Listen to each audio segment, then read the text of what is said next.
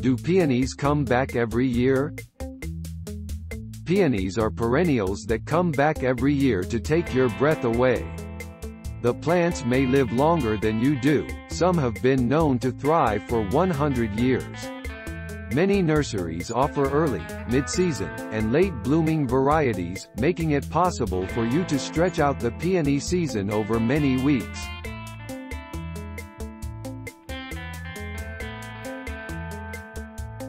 Thanks for watching.